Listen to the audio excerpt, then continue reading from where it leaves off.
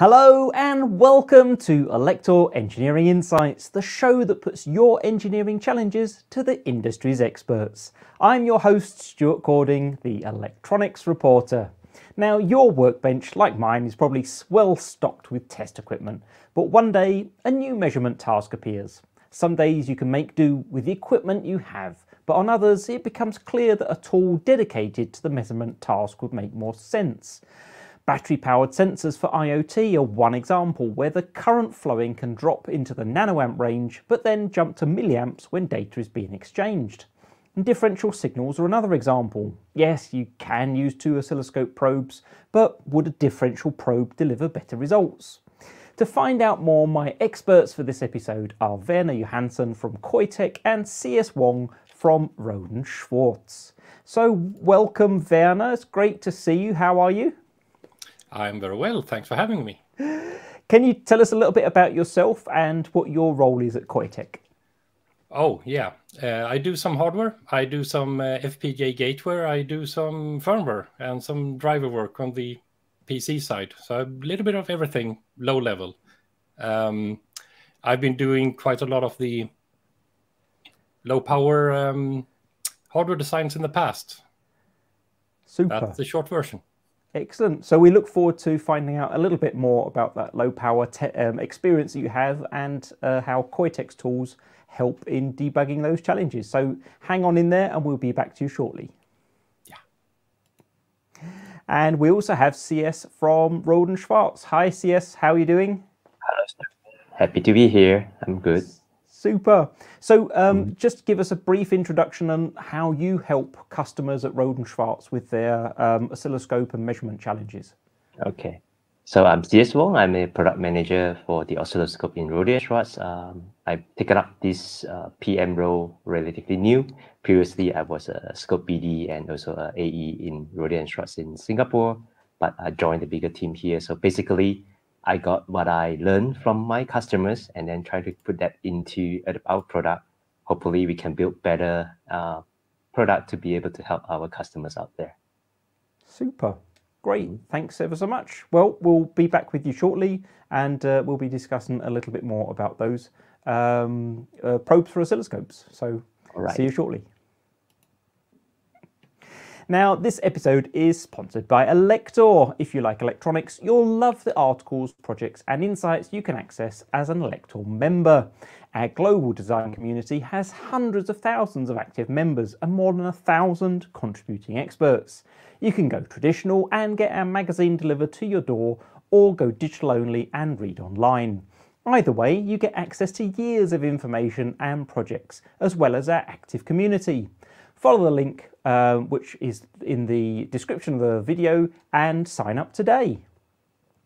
So over the years, uh, over my years in industry, I've dealt with many challenging measurement problems from analysing low power DSP applications to accurate measurement of high precision oscillators. That's why I'm so excited to learn more about the tools our guests have to share with us. However, this show is for you engineers out there struggling with your designs. So regardless of where you're watching, post your questions and comments during the show using the chat function on YouTube and LinkedIn. Or if you're on Twitter, use the hashtag ElektorEI and we'll do our best to get answers or guide you to resources that might help. So let's bring back Werner. Hi there again. Good to uh, have you here on the show. So where I wanted to start was um, with uh, the Internet of Things. I think with the growth of the Internet of Things, um, we've seen that we need sensors that can operate for as long as possible, either from a battery or from some other energy harvesting source. Um, why is something like a multimeter or some other sort of tool uh, not suited uh, and ideal for this type of measurement? What sort of current power or power levels are engineers trying to measure in these applications? Yeah, so basically, uh, where the multimeter will fail you is due to the dynamic range. Uh, because if you're trying to measure the sleep current in the nanoamps, or more realistically, hundreds of nanoamps in a typical uh, environment, all of a sudden, when you wake up and you start a sensor, you might consume 20 milliamps, 30 milliamps. Uh, then you start a radio and you might consume several hundred milliamps, especially for cellular. And during that transition, you will uh, have a really hard time measuring this with a regular multimeter because the drop will simply be too high before the multimeter has time to switch range into a more suitable milliamp, hundreds of milliamp range. Um, that's that's basically um, the, the, main challenge, uh, dynamic range um, and loss over the shunt resistor that you need to measure the current over. And uh, so measurement tools as well, can they have an, an impact on the, the energy source, like uh, an energy harvesting device that reduces the amount of energy uh, that can be delivered? Sometimes, uh, I mean, multimeters today, they tend to have a fairly reasonable input impedance.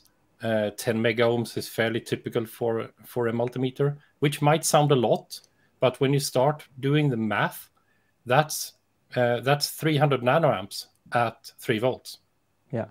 Which means that uh, if you try to measure the voltage across a harvesting device, you might actually completely ruin it because it might actually be all you get, the 300 nanoamps. Yeah. So it might very well have a big impact. And again, going back to the shunt measurement in your ammeter, you will have a loss. And it's typically uh, several ohms uh, to several kilo ohms of shunt resistors if you're going to measure low currents. And uh, that will also have an impact. So you want to minimize that as much as possible.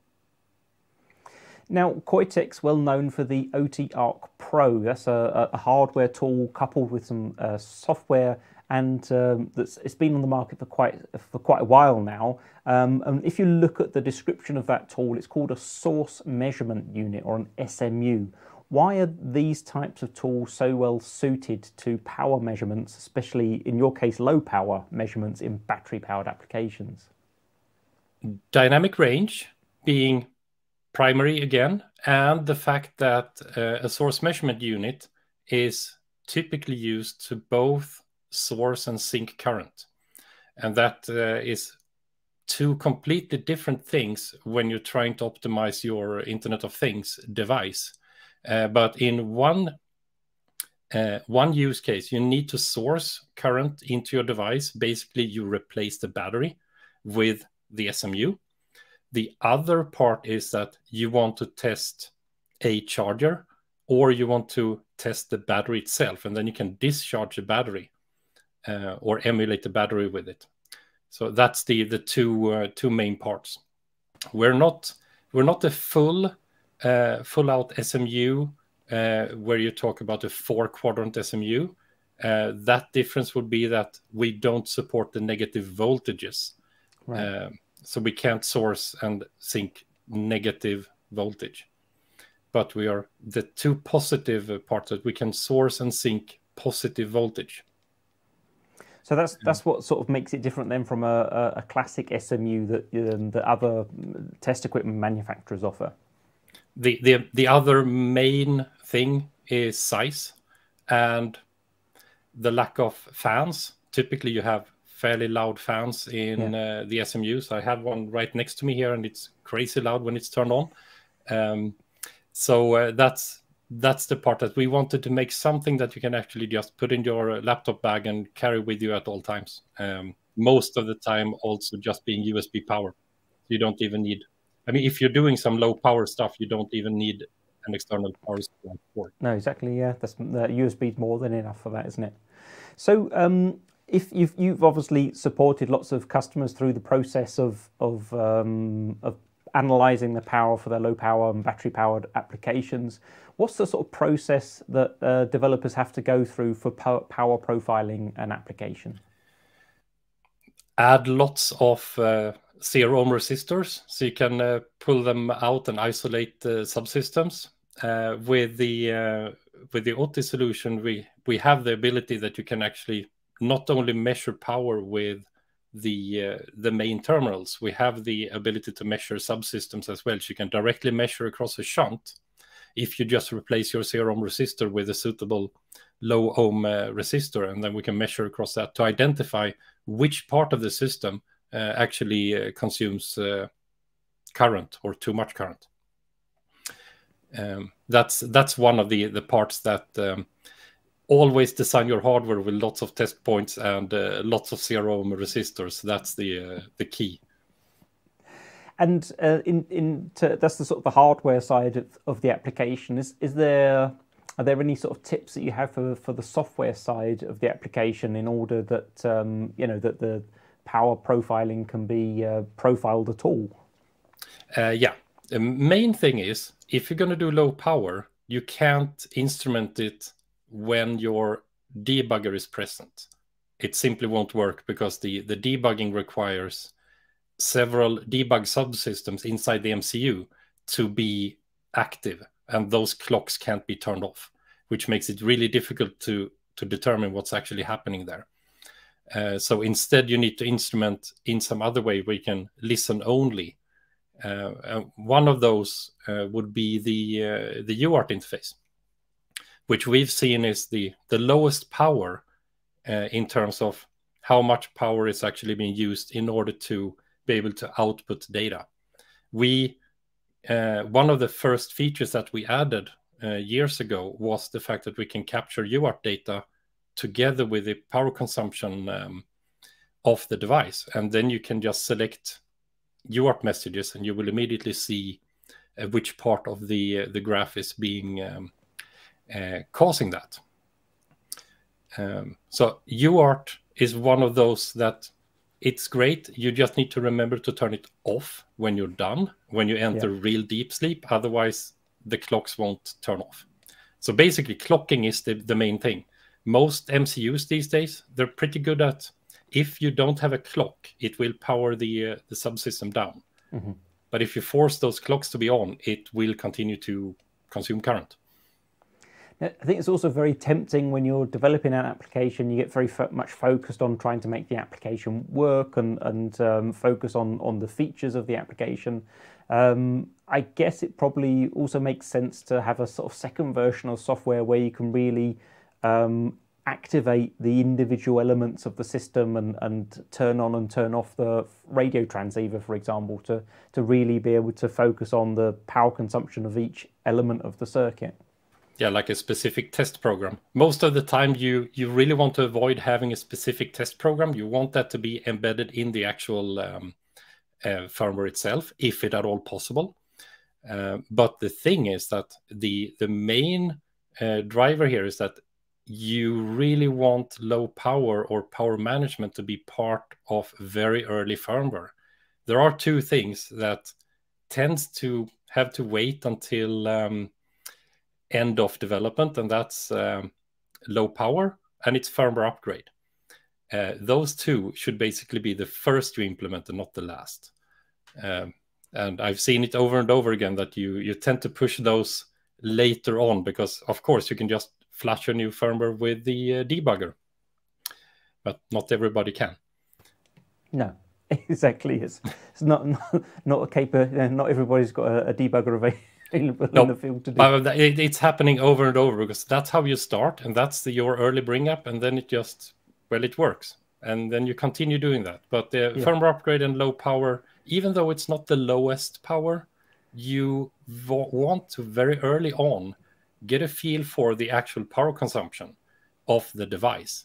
And if yeah. you continuously see that on your screen, if you're using things like an the uh, the Otii um, uh, ARC or ACE um, you will see when all of a sudden your idle power consumption goes either up or down uh, by a lot, uh, especially when you're trying to release new software.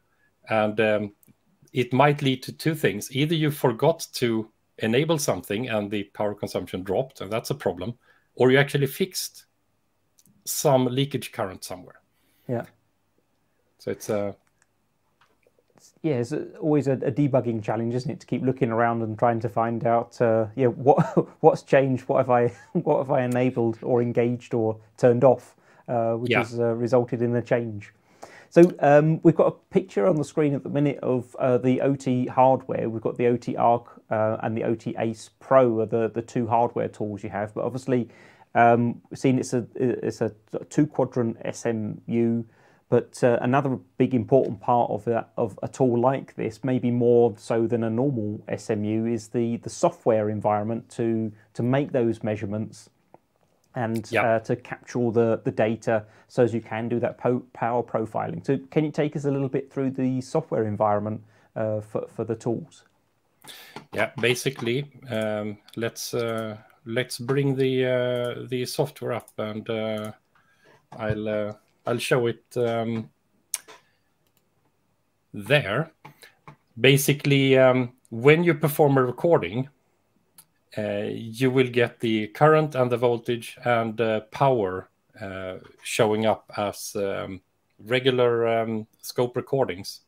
Here's the um, the UART as well. So if you select the the UART, it will automatically select whichever part of the this analog graphs as well. So this will just show you real time when you're recording, and then you can just zoom and you can you can do all of that in the um, uh, in the uh, the window. And uh, this is very difficult to do on a regular SMU with a very small screen. So you you want something with a uh, a better screen like your laptop. Um, then you can do all this. We have no controls whatsoever on the actual uh, on the actual box. You need to attach it to a computer. And because we were talking about um, the uh, profiling, we have this uh, ability to to discharge batteries from within the software. Then you just disconnect your device and you connect your battery instead. We can discharge a battery, create a profile that we can then emulate uh, in the actual uh, software. This will show you the open circuit voltage of the battery, and this is the internal resistance of the battery from full all the way to empty to the right. Then you just choose how many you want in parallel and series, and off you go. And then you can basically just move this where you want to simulate or emulate the battery from. So you want to emulate an almost empty battery, uh, you just start there and off you go. So that's an interesting point because um, as the battery discharges, uh, there's often a situation where, um, yeah, maybe the electronics isn't quite capable of of passing the or yeah managing the, the, the power through through the system. Maybe there's an LDO or a DC DC converter that's uh, maybe not optimized as that sort of as that power as the voltage level drops. You can you can have problems further down uh, in then in then uh, feeding feeding power to the microcontroller. Yeah, especially when you're waking up from sleep, because all of a sudden you consume a lot of current or more current than in sleep. And with increasing internal resistance of that battery, the more that voltage on the actual terminals will drop when you wake up. And eventually you either lock up or you have a brownout uh, watchdog capturing it and resetting, and then it will just boot loop all over until you replace the battery. Yeah. Um, which is also why we have this way of saying fixed. We want to simulate one exact part of the battery, and it's not going to move from there. Uh, which means you can test this all over and over, even from scripting. If you're actually scripting this in an automated test, you can say, I always want to start at 80% depleted battery, run this test until it actually uh, turns off. That's also possible to uh, to do, which is yeah. very difficult to do with a real battery. Did, did the same challenges apply also to um, uh, energy harvesting um, energy sources as well? Even more so, really, because typically energy harvesting sources like solar cells, uh, they have a very high apparent internal resistance. I mean, it, as soon as you start loading it, the voltage will drop. So you need these um, these energy harvesting controllers um, uh, that actually deals with maximum power point tracking to extract as much power as you can possibly get, and then charge a storage device like a supercap or one of the small batteries that you find inside um, all kinds of headset and uh, these days the sub milliamp hour batteries that yeah. can can run the the device for a, a, small amount of time until you get more light but yeah it's uh, the higher the internal resistance, the more difficult this gets. And coin cells such as this CR2450 that uh, that we're we're looking at here, it's actually 19.1 uh, ohms is the the maximum here, and right. the energy harvesting ones are even worse. Okay. We we profiled a grapefruit battery that had uh, over a thousand ohms of internal resistance, basically two metal plates in a grapefruit, which yeah. is also a similar kind of energy harvesting. Yeah, but not quite as popular. and or potatoes. so yeah, no, it's uh, uh, it's it's difficult when uh, when the currents are so small and you don't want to interfere and you don't want to have the measurements mess it up. Yeah. So uh, we, we are working on on all three sides of this energy harvesting controllers. So we can we can emulate the battery we can emulate the energy harvesting device and we can emulate the device you're actually trying to power off of it. Now the the um, the other point when I was looking um, over the, the tools is that the the Otii-Arc Pro is is limited to five a five volt supply, but yes. uh, nowadays, we're also seeing lots of other sort of what we would call IoT applications that use um, much higher voltages, uh, like e-scooters, for example. They they they need to be um, in a low power mode as well when they're not being used, but still remain connected to back end services to track them. Um, can you support uh, application, or how how do you sort of support applications that are using a higher voltage than five volts? So with the the new product, the Otii Ace Pro, uh, we can do uh, that is uh, the Otii Ace Pro. It's now we can go all the way down to zero volts, and we can go to 25 volts. Right.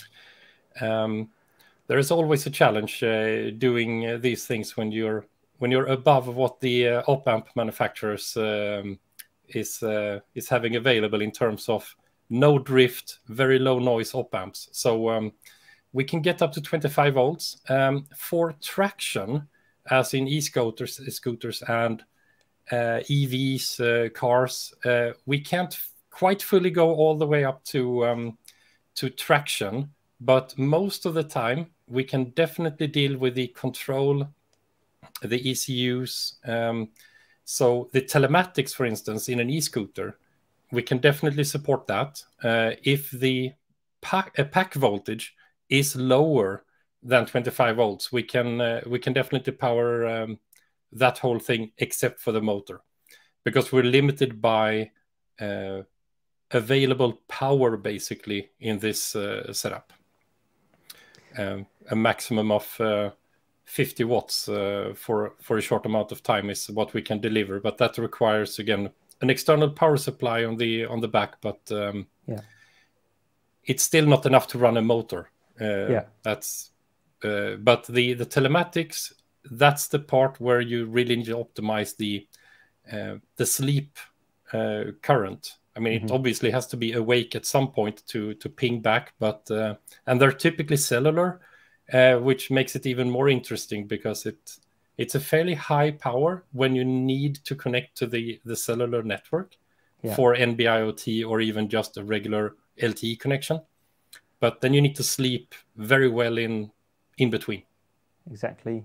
That was one of the questions one of the things that was on my mind as well with those types of applications. Now if if we're doing um, let's say we're doing an application like LoRa um, or or even zigbee typically we can at least have a test environment where we have control of both ends.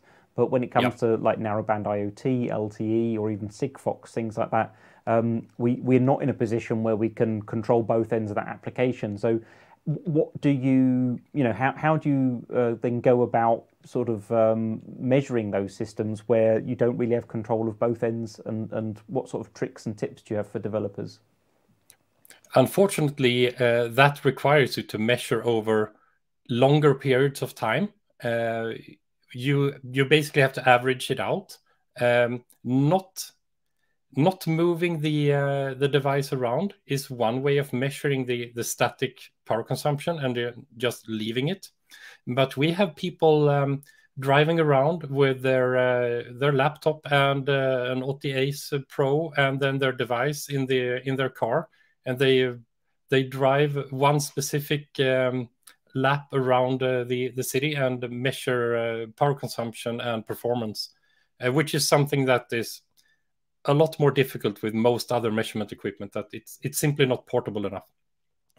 But it it all comes down to you need to do longer measurements uh, over time and then average it because it really doesn't matter what the peak power consumption is and it doesn't really matter what the rock bottom is it's your average power consumption that makes all the difference in the end the total energy spent and it's something that we've uh, we've fixed in the the new software as well that now we actually present power as well not just voltage and current.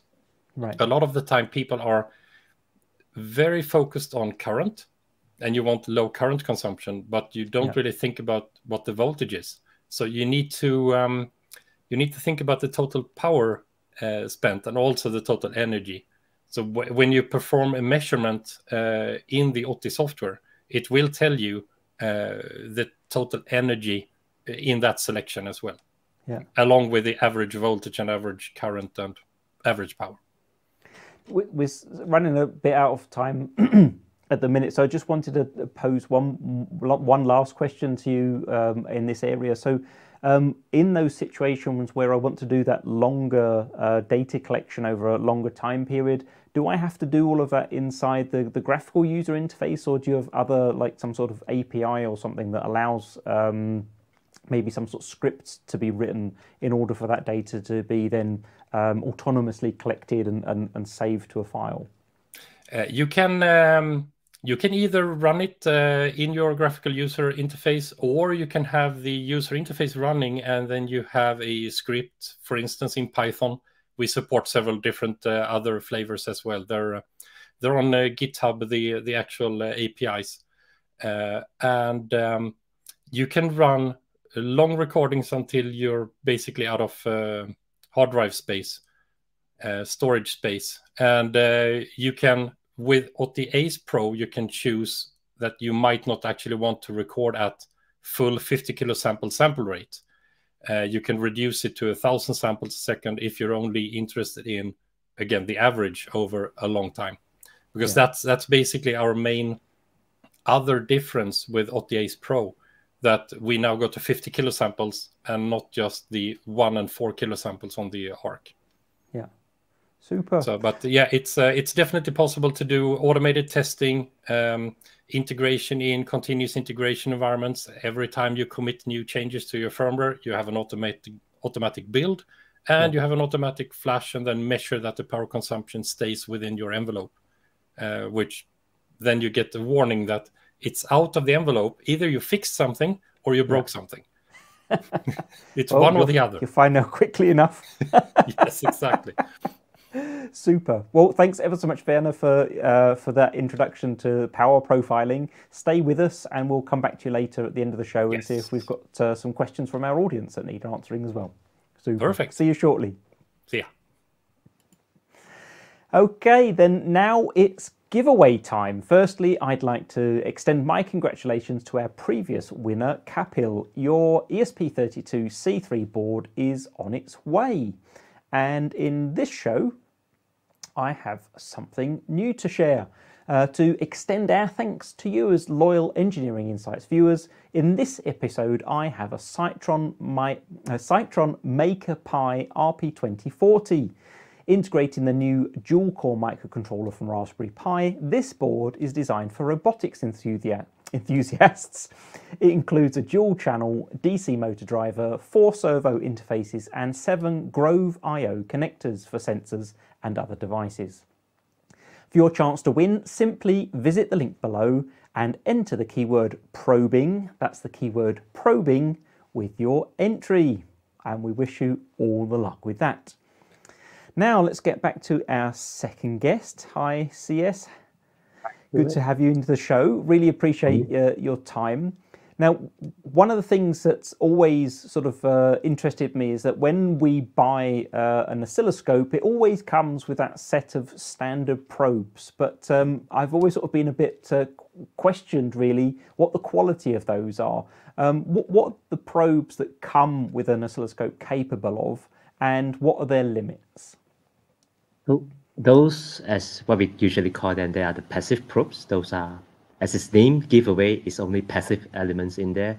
So typically they are one of the, uh, I would say as a giveaway, of course, it's one of the lowest costs that we can find to, to build into the, uh, uh, the probe uh, so that it provides a substantial uh, measurement capability, but uh, of course you wouldn't find that it will be the most accurate measurement result. But as this probe comes uh, readily available, of course, one of the good things is that you can grab it and then just do a simple measurement. So, uh, so typically with this kind of passive elements, uh, I would say that you roughly get a pretty good performance all the way until 500 megahertz. And beyond that is usually kind of a stretch to, to go up to around 700 megahertz um, there is some industrial push to ask for like, can we go for one gig kind of a passive probe? Uh, unfortunately, we we look into the physical limits, so it's actually impossible to do it on the passive elements. So some of the vendor out there do have like built a one gig uh, passive probe. Actually, they they actually implemented a bit of a smart way to include uh, active elements in there. So it's actually quite a different approach. But anyway, what I want to say is that for this kind of uh, low cost um, giveaway probes, uh, don't expect a very, very tremendous uh, performance or accuracy.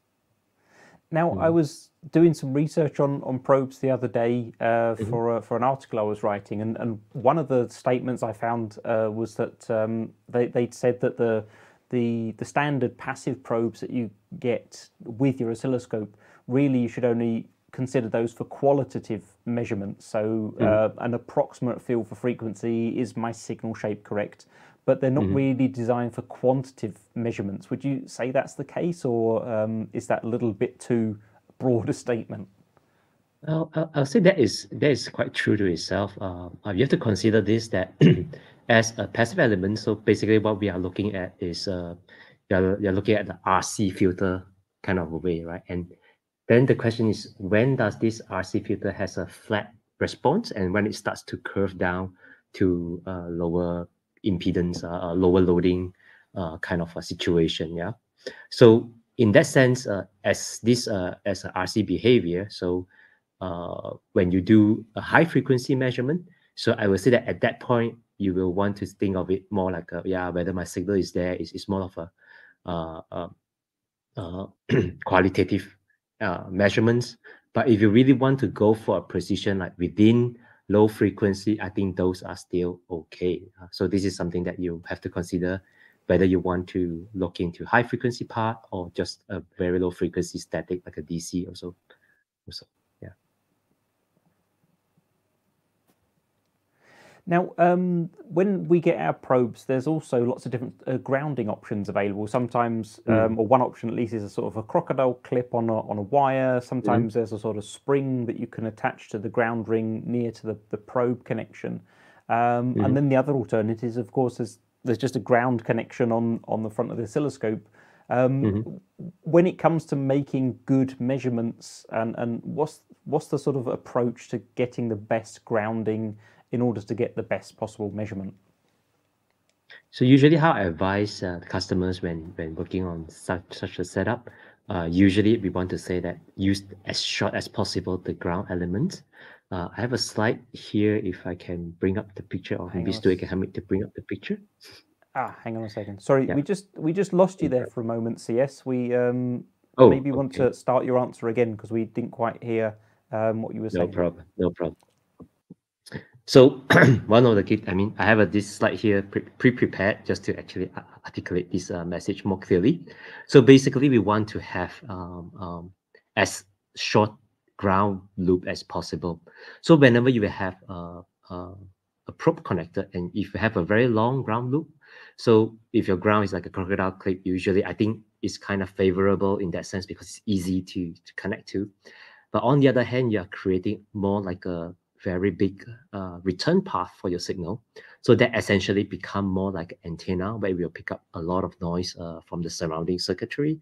So no, normally I would say this is a no-no if you if precision and and accuracy is what you want to go for. So normally I would advise to go as short as possible. So you can see here in the bottom right, I have like a three probe kind of setup. One is with a long ground loop with a with a with a pogo pins that you can connect to it. Uh, uh, and then on the on the furthest, furthest right hand side, you have one that has just a slightly angled up uh, kind of a ground pin connector. And then on the middle, you can see there's one that has a really, really uh, close connection. So in terms of the best signal integrity performance, I will always say that the middle one will be the best because it has the lowest ground loop available. So it will pick up as little surrounding emission uh, from the circuitry as possible. So you get a fairly good uh, measurement of this kind of setup. Yeah. that's great. I, I, I mean, mm. I think uh, most most uh, people will have also noticed that when they're mm. when they're trying to measure signals, that yeah, if you if you try and uh, keep the distance uh, for the ground path as, as short as possible, um, mm-hmm. that the the, the, sharpness of the image that you're seeing on the screen improves a lot. But um, there's also cases, for example, where um, you want to make a, a, sig- a, measure a signal that's not referenced to ground, um, mm-hmm. or you know, there's a, some maybe some differential uh, signaling on on a um, between two devices, such as CAN or, or USB, are, are, good examples. Mm-hmm. Now, it is possible to use two sort of passive probes and and then um, enable the subtraction capability of the scope in order to to make those measurements. But what what are the challenges with with doing that approach, uh, and you know what will the quality of the measurement be? So, that is one of the smartest, smarter engineer way to to get around if you don't have a differential probe at hand. So that is one way to get a kind of a differential signaling uh, using the match function of the instruments or the software to help you to to find out what is the the subtracted result to, to, to represent the differential waveform. But however, you, we have to also pay attention that uh, not two passive probe are the same. So if, for example, one have a longer ground loop and the other one is shorter, so you, you technically change the behavior of the probe uh, of the two path. So once these two signal enter into your your measurement device at the scope, so you will expect there's some some timing difference between the two. There'll be some amplitude difference.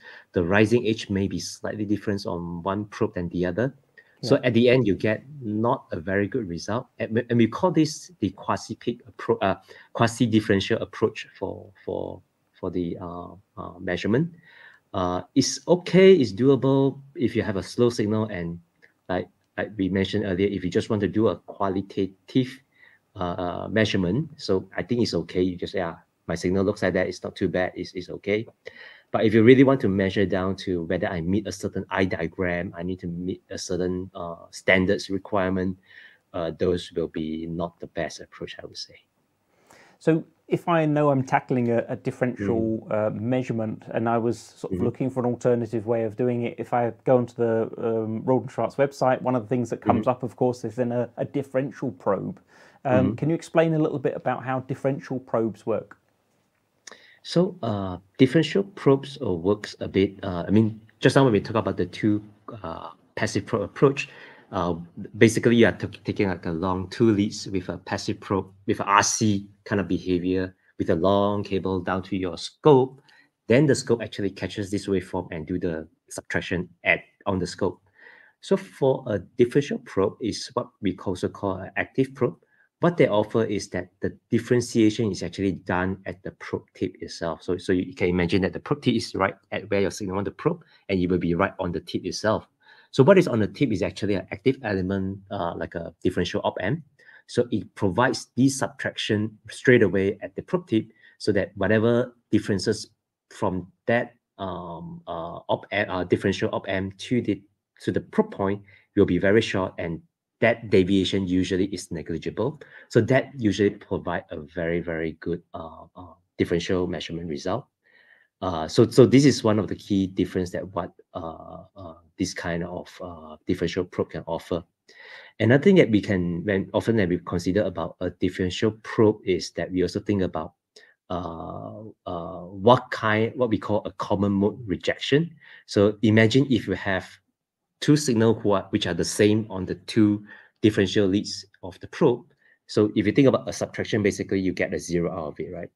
Uh, what happens is that what if uh, you don't get a zero technically because there's no ideal uh, subtraction.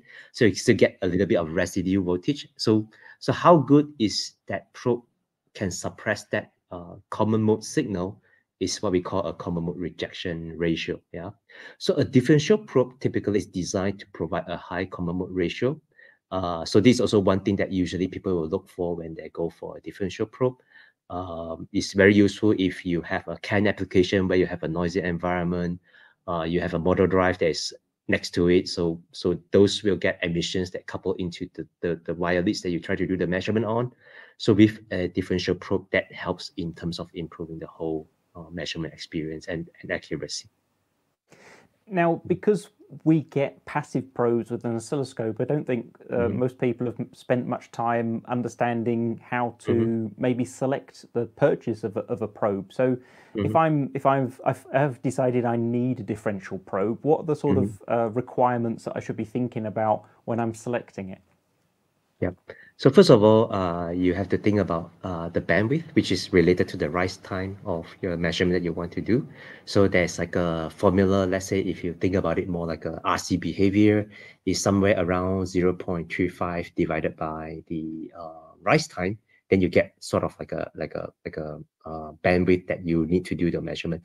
So the basic criteria is that uh, the bandwidth should also cover around uh, the third or fifth harmonics of the mesh, the signal they want to do the measurement on. So basically, we are expecting a square pulses, and then we want to see the third and fifth harmonics because those, in terms of frequency, carry the stronger uh, information about the pulse that you try to do the measurement on. So bandwidth is the is the first thing that we need to think about. And the other part is, I mean, as, as I mentioned just now, the common mode rejection ratio. So that is also one of the key things that we want to pay attention to. Let's say if you are expecting the signal that your probe has a very strong common mode that is swinging around, then you want to have one that have a higher uh, uh, uh, common mode rejection specific specified so that it gets the job done. Yeah. Uh, of course, there are other parts that sometimes is not so visible uh, on on on this probe is that this kind of specs sometimes that changes with frequency.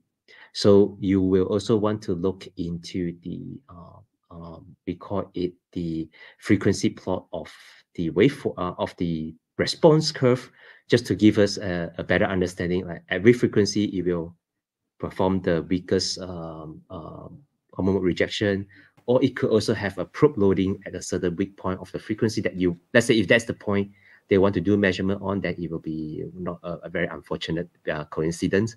But basically, uh, I think in in in essence, you look at the bandwidth, look at the the common rejection ratio. Probe loading is also something that's important. And if you want a bit more accuracy, look into the uh, frequency response of those uh, uh, items.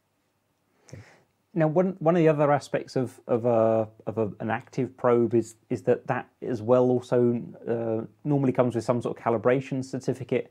Um, mm-hmm. What sort of what's how often do the, the probes themselves need to be calibrated?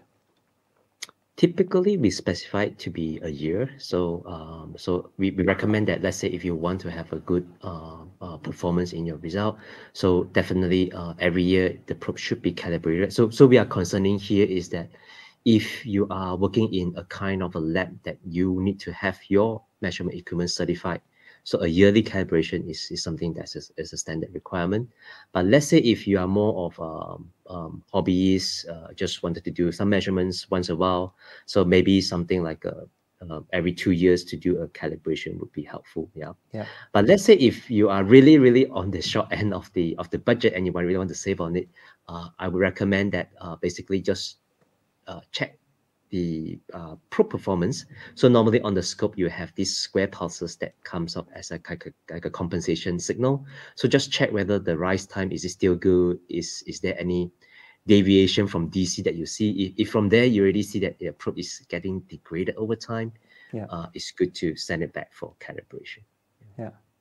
Now, one of the other aspects, as, as, as, you mentioned before, is that the, the mm-hmm. passive mm-hmm. probes they they have mm-hmm. that RC element in there, and so as a mm-hmm. result of that, the probe has a sort of a capacitive load in the sort of mm-hmm. picofarad uh, range. Yep. And mm. um, some people, like myself, may have noticed when you when you then use those passive um, probes with very sensitive circuits like crystal oscillators, you can actually change the the frequency of operation as a result.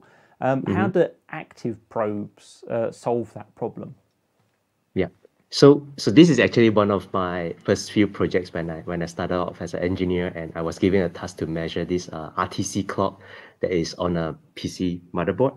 So uh, I was told to measure this uh, crystal oscillator, and I just let my probe, and the clock is gone. And like, oh, did I? Is is the board spoiled because the the clock is not there anymore? Then I realized that actually uh, the probe that carries a passive probe carries around 12 to 15 picofarad. So that ultimately changes the oscillator's uh, behavior. So you lose a clock information easily just by landing there.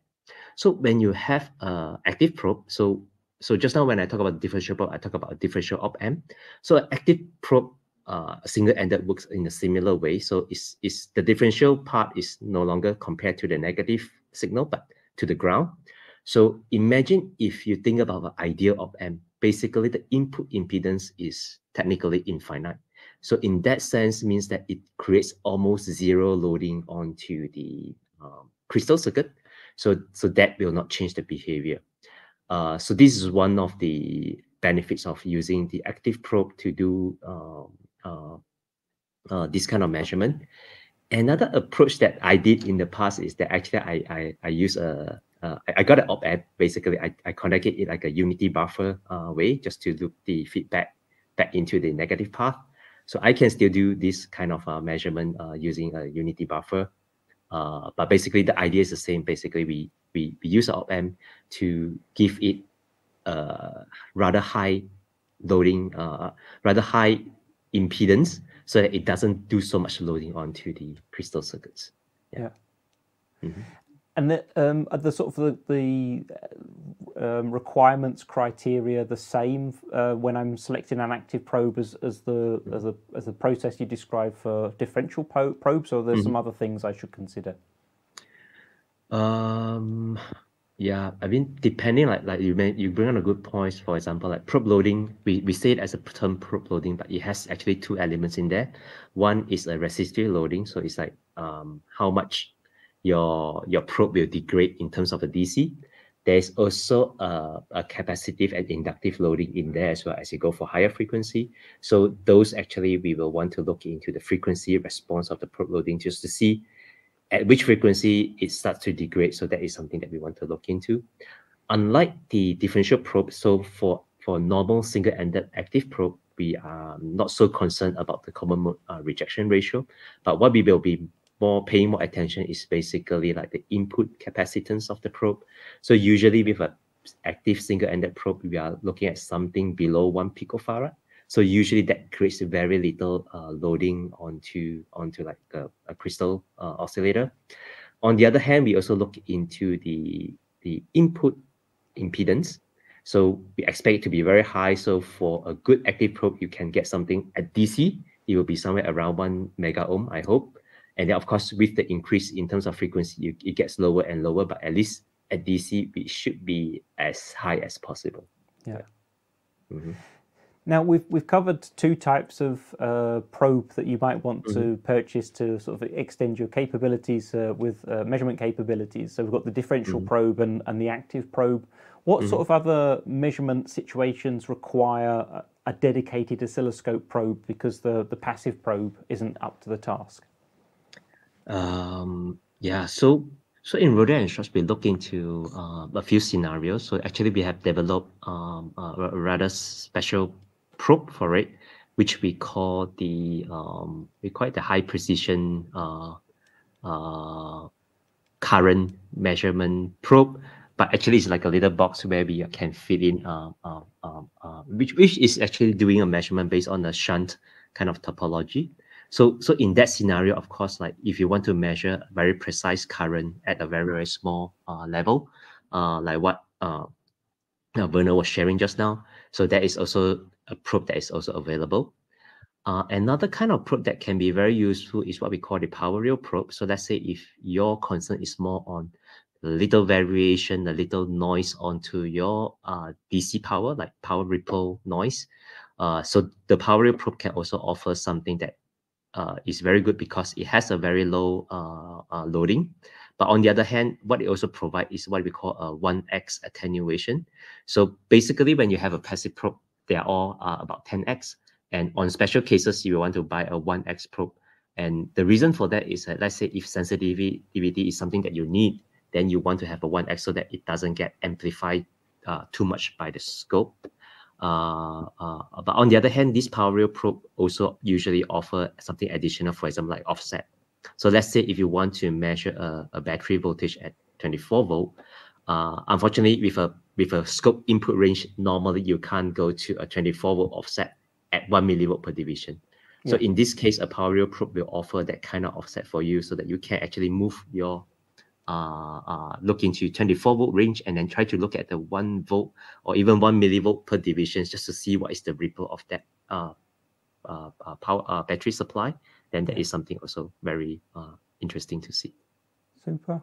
Well, mm-hmm. thanks ever so much uh, for those dedicated insights to uh, to mm-hmm. probes, and uh, yeah, I think that's, that's fascinating because I think yeah, a lot of people don't get past the, the probes that are delivered with the oscilloscope, so it's it's interesting mm-hmm. to find out a little bit more. I'm just going to add Werner back into the, the group and uh, have a, a bit of a, a round table discussion and, and pose some some extra questions here. So, um, CS, the first questions for you. Mm. Um, uh, the question is sometimes it's difficult to tell if my oscilloscope output on the screen matches the real signal because if I if I move the probe and uh, the signal I see on the screen changes, what mm-hmm. tips do you have for engineers when making oscilloscope measurements to, to so that they can be sure they're seeing what they're actually measuring? Uh, so normally okay so so this is actually uh, a bit of tricky because the scope will see whatever the probes bring in so getting a good, probe, getting a good setup will determines a lot whether you get a realistic waveform. So in that area, usually I would advise that uh, try to get as little bending as possible, and then uh, try to get the probe to be stationary because um, the moment that your probe is somehow moved and your waveform changes, then it means that uh, there is a kind of a noise that is within the circuitry, but either because of long ground leads, either because the probe point is at an angle that is very close to a emission noise. So that will actually change the behavior uh, quite a lot if you move it around. So in, in that area, uh, I would say that um, uh, usually it's hard to say that we can do a, a quantitative measurement, accurate measurement based on here. But as a as a as a qualitative, as just whether the signal is good enough, that would be that would be the case. Yeah. Yeah. Mm. even just holding the probe might uh, just couple uh, noise into it as well. So I mean, it's exactly. it's preferable not to even hold it at that point. Yes, if possible, to stay away and yeah. and have it yeah. somewhere far away. Yeah. I mean, getting into the the passive probes with the the mm-hmm. typical input of uh, one mega ohm uh, into the actual scope, and then a 10x mm-hmm. passive probe, you're back mm-hmm. at the 10 mega ohms of the multimeter, which can mm-hmm. significantly load circuits, not just capacitively, but also resistively, yeah. especially mm-hmm. when trying to measure, again, some really high impedance stuff. It, mm-hmm. it really gets you every time when you're not getting the correct measurements that you thought you got. Mm-hmm. So basically, uh, how would you actually make your scope or any other measurement uh, device uh, produce trusty results? And basically, you, you can't mm-hmm. to 100%. you're never 100% right. Yeah. No, exactly. Right. As, as long as you're closer to 100% than you are to zero, then, then yes. you're okay. You just have just, to realize that. Yeah, exactly. Just like to say a quick hello to Dom, who's watching. Um, he gives us the feedback. It's uh, very helpful information that you're sharing. So thank you, Dom, for tuning in and watching us. Uh, Werner, one of the things I wanted to ask you was um, there's when when we look at low power applications, um, having worked at various microcontroller vendors, um, everyone has some sort of low power or ultra low power technology designed into the, the device. But there's often questions around um, when we're building low power microcontroller applications, what should we do with the pins that aren't used? How should we configure them? Should they be inputs or outputs? And if they, you know, if, if they're there, should they be connected to, say, a resistor to the supply voltage or the ground? What what's been your experience as to the the optimal configuration for unused pins? Yeah. Uh, it varies, which is not the re- not not the response you want. Uh, no. It's the, the thing is, it depends on the uh, the process used to to manufacture the MCU. Um, the the thing with CMOS is what it hates the most is voltages right in between low and high. Yeah. Then you consume the most current, and that's basically shoot through straight through the uh, the two MOSFETs. You definitely want to avoid that. And there are several ways to do this depending on which microcontroller you use. Uh, some can actually disable the input circuitry altogether, basically just taking it out of the equation. Then you then you can leave it completely floating. It doesn't matter. Uh, the easiest way, if the pins are not connected to anything on the board, because you don't need them, you typically just output a zero or a one. You output low or high, it doesn't really matter. Um, at that point, you don't want any pull ups or pull downs active. They're typically deactivated as soon as you enable it as an output, not always. So you might actually do the, the wrong thing of pulling it down with an output and then having an internal pull up just consuming lots of current. Yeah. Uh, so you want one or the other. Uh, from an ESD susceptibility part, you want it to be an output because that's lower impedance. You don't want noise entering your MCU, especially if your next pin is an AD input for an AD converter. Uh, right. Then you definitely don't want that. Same thing with uh, analog inputs that are typically also digital. They need to make sure to disable the digital part of that pin. Otherwise, you're ending up at worst case scenario when you input half input voltage in the analog pin, which is perfectly fine. But if the digital input is still listening there as well and it's connected, you're going to consume a lot of power.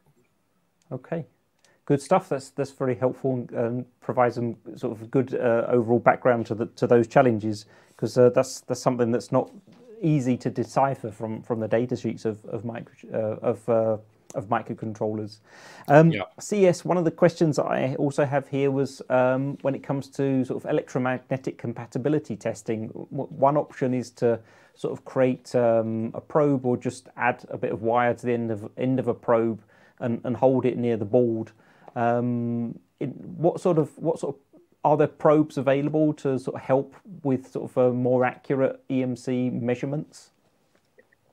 Usually, we say that you you want to have. Uh, I mean, we have uh, we carry a, a field probe, which is more like an antenna, like a loop yeah. antenna, where you go and then it has a proper loop onto it. Uh, if you want to have accurate measurement, try to get those because uh, there is more uniform and and and and it has a fixed width that you can actually determine the bandwidth uh, of the signal that's going through. So it, it, it gives a more uniform uh, sniffing of the energy that's emitted out from, from, the, from the DUT that you want to measure on. Uh, some, of course, let's say if uh, if they have uh, weakness in terms of like lower frequency that they don't have enough uh, emissions to to pick up, so some actually provide additional amplifier for us to to boost up those particular frequency range just to at least get it to be a normalized kind of field to look into the, the emission. Uh, so those are those are the possible uh, solutions that you can get out there. Using a passive probe with a wire loop is something that I would say that is possible if you just just have a, just a sense whether there's some noise coming from there. Uh, but if you want to really measure an accurate one, uh, try to get this kind of uh, near field probes. Yeah. Yeah. The thing is that if if you're picking up mm. noise from a hmm. wire mm. connected to a passive probe, you are going to have a really hard time passing um, current EMC um, compliance. yeah, exactly. Exactly. Yeah. It mm-hmm. doesn't require much to fail. Um, that's that's for sure. Yeah, it, mm-hmm. it, can. Yeah, it can be very uh, borderline, can't it? At times, trying to trying mm-hmm. to keep just under the limits that are allowed. Yeah, mm-hmm. uh, sometimes it depending on time of day and humidity and uh, basically just face of the moon. Yeah, exactly. it's a bit of a voodoo sometimes, especially with multiple isolation um, domains. We, yeah. We've been mm. through that. Um, yeah. You get noise everywhere. We get noise everywhere. Here in, in our lab, typically we pick up the the GSM noise at around 900 plus megahertz. So, oh. so for us, is we don't know if you design something around that range. It's difficult to find out whether it's from the environment or from from the probe yeah. then it's the question that you have to bring it to a chamber to do some yep. I have a uh, I have two uh, blocks of uh, DAB plus um, Mhm. right next to me. Uh, right. Mhm. They show up on the spectrum as Yeah. two distinct rectangles, and you can just forget to measure anything there. Yeah. So Yeah. it, it's really difficult when you're when you're not in a shielded environment Yeah. because the signals are so very low. Mhm.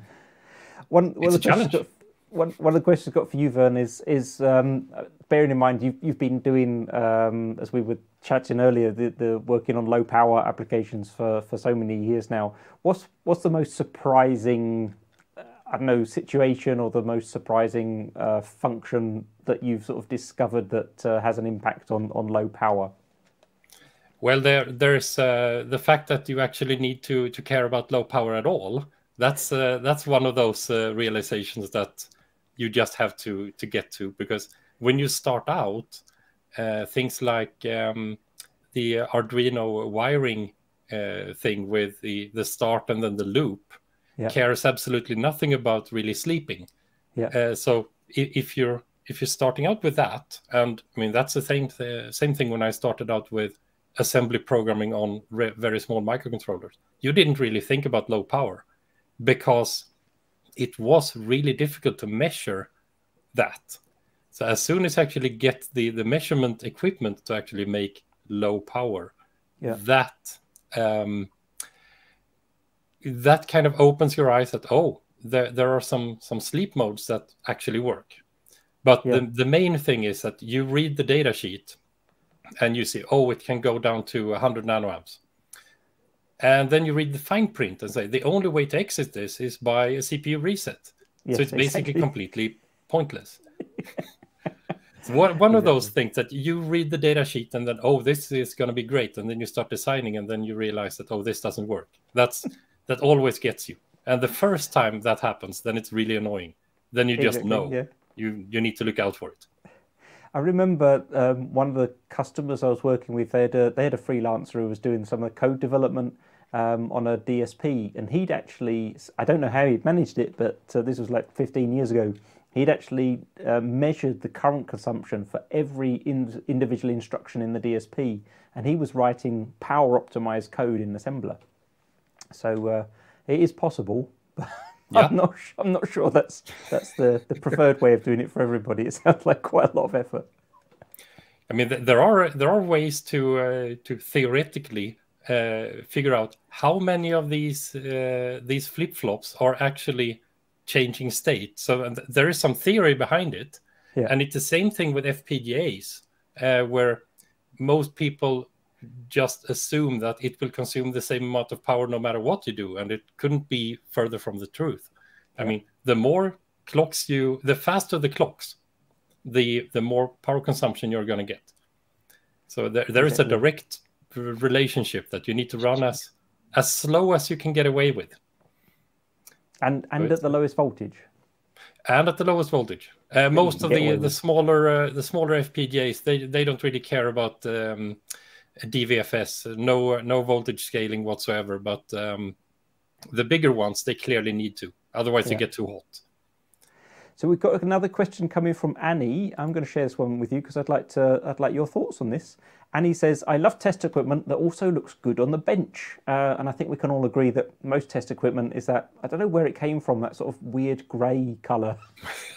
I heard that Disney, okay, the the Disney, um, the people who run the Disney parks, they've got um, a colour, a green colour, which is sort of like called scene green or something like this and they paint posts of, of roller coasters in, and doors and things in this green color because because of the color people almost don't notice it. And i think it's the same with the, the test and measurement in industry. We create a, a don't see gray um, do you, do you Right. think that um, we could do a little bit more effort to make our uh, test equipment sexy on the bench?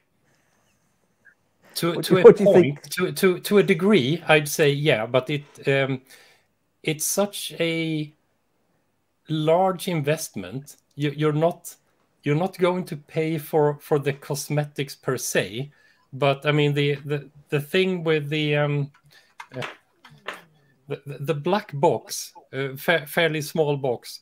This is engineering because the entire box is aluminum and it's heatsink. And then I just uh, find that yeah, that that looks fairly good, um, but it's very functional. Yeah. And that's basically the same thing with most test equipment. There's buttons on it because we need the buttons. There's connectors because they need to be there. There is nothing extra. Uh, basically, nothing extra. so, but um, some of the uh, equipment vendors uh, recently changed to a much darker version of gray, black, to yeah. to be more modern. Well, yeah. Quite a lot of them. So we're we're getting rid of the beige I think. So you're, you're getting trendy. I have to admit though, when I first saw the Otii Arc, yeah, I was really impressed. The the the, the anodized aluminium casing um, apps looks absolutely fantastic, and and um, it it feels nice in the hand when you pick it up. It feels robust and strong and, and reliable. So there, I think there is quite a lot to to that. Um, CS, what, what's your opinion on um, on test equipment grey and uh, the the um, I can't remember the I've forgotten the name of it the the oscilloscope you launched recently that that yeah. uh, definitely has a visual appeal I'd say. So that actually also come down to uh, the corporate identity what they what they decided on like what what, what color we should use. So yeah. for most Rohde & Schwarz equipment we, we have a kind of a blue and now uh, recently we have an update on our corporate identity to, to go to a darker blue, like what they call midnight blue or whatever. But basically, that is what determines what we what we put onto the the the, the resin or the or the casing color. So yeah. so after our artists to the impression, if all the engineers agrees that this is the look and feel that we want to go for, we will just go for it. I like the I blue. Yeah, no, I, th- I think it looks really good. It stands out nicely. I think it's yeah, ninety nine percent of the budget went on the technology and one percent went on the design of the case. So, but pro- you, you probably the right way so. round. yeah, I think the other benefit that you go with a darker gray is that uh, it, it's hard to go wrong on a gray because then it's, it's, it's you have to match it. Like for, for us, we have problems that sometimes when the material come back, the blue is not the blue that we want we right. have to respin yeah. that material. Ah, oh, okay. That's a cost though. yeah, exactly. Also, th- there is a there is a there's an art to black because mm-hmm. black isn't really black. So yeah. black here isn't necessarily black here. Yeah. yeah. Um, and the fact that it's black is because it's it's a better black body when it comes to getting rid of heat. When we're sinking exactly. current into it, we need to get rid of that heat somewhere. Mm-hmm. And it's actually better to be black than just yeah. the anodized uh, aluminum. Mm-hmm. Uh, so it's black is actually uh, it's not just aesthetics; it's actually functional in this case. well, you'll be pleased to know Dom has also uh, jumped in on the conversation and said that he likes the black box. It's very nice. Uh, but he also likes retro equipment and the look of it. Uh, look of it. And oh yeah. I, I, I, myself used to spend hours in front of a um, a Rohde & Schwarz spectrum analyzer testing um, quartz filters. Um, I think that, and that was that was also in the same grey, but it was painted because the equipment was all made out of uh, of steel panels at that time. This was sort of like oh. the test equipment for the 1960s, I think it was. So with the proper, uh, yeah. really large dials. Big yeah. big dials. I mean, it took up a lot of space. It was it was big. Yeah. So. Super. And the, well, the large analog uh, instruments; those those are yeah. also really nice yeah, exactly. Well, it's been lovely Rachel, speaking you. to both of you. Uh, I've really mm. enjoyed the conversation and uh, all the information you've been able to share with us. Thanks ever so much uh, for being part of the show. And uh, yeah, we look forward to finding out a bit more in the future. Maybe we can have you back on again and uh, talk a little bit more about uh, measuring very challenging signals. Sounds great. Yep. Super. Thanks very much. Thank you, Stuart. Well, that's about all we have time for in this episode. So, what did we learn? Measuring signals in electronic circuits can be very challenging. Am I really measuring the signal that's there, or is my method of measurement influencing the results I'm seeing? Battery powered applications have always been challenging to measure due to that high dynamic range of the signal, but without the right tools, how can we be sure of the expected battery life, especially under the range of conditions the applications will experience once it's left the lab? Qoitech's hardware and software not only allow power consumption to be accurately measured, it also allows the impact of a discharging battery on an application to be fully understood. Then there are those standard probes that come with your oscilloscope. Yes, they're great for basic measurements, but when things get a little bit more complicated, companies like Rohde & Schwarz provide advanced probes that enable accurate measurement with minimal, minimal impact on the signal itself. My thanks today are extended to our experts Werner Johansson and CS Wong. You've delivered us with some outstanding engineering insights. So that wraps it up for today. If you'd like more of the same, we're broadcasting two episodes of Engineering Insights every month in 2023. And to keep you abreast of industry trends this year, take a look at News Bites, our monthly 15 minute news roundup. Please like, subscribe to Elektor TV Industry on YouTube and share our videos on whatever platforms you use. Additionally, you can now drop by the website at elektormagazine.com slash EEI to see the topics for future shows and sign up for regular updates and reminders. Finally, if you'd like to join me as a guest, write me an email, drop me a tweet, or reach out to me, Stuart Cording, on LinkedIn. Thanks for joining, stay in touch, and don't forget to keep asking your engineering questions.